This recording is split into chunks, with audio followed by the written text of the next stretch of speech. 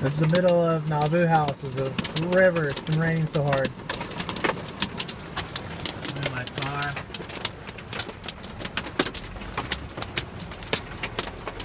Crazy hard. Oh.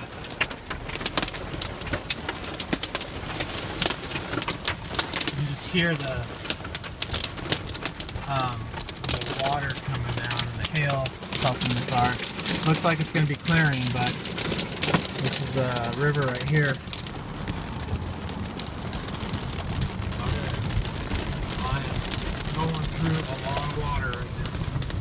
Holy cow, this thing is just full of water.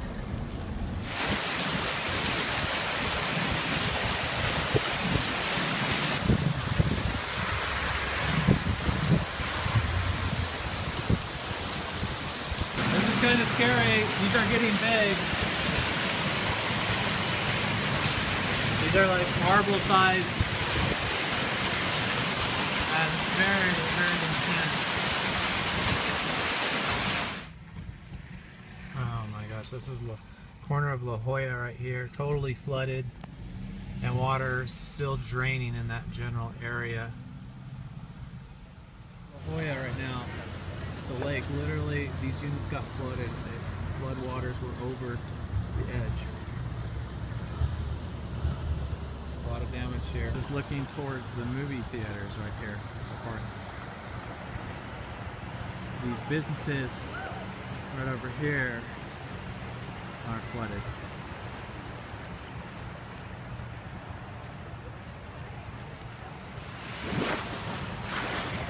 You hear feel that wave from cars going by.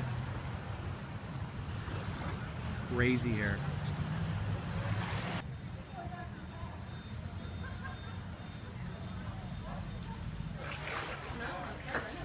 Here's flooded units with closing to like mitigate the here. Got a lot of residents helping.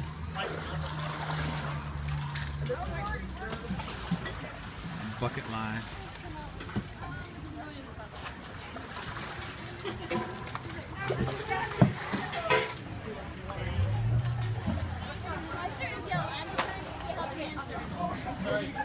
Probably better off upstairs.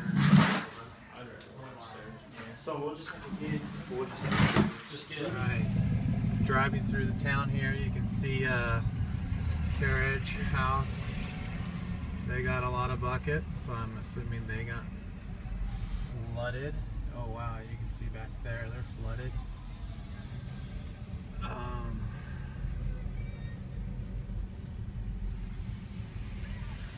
more flooding. Police basically all dispatched.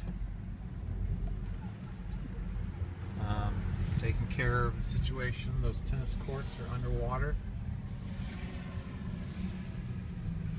Um, you can tell by the debris here that that was underwater.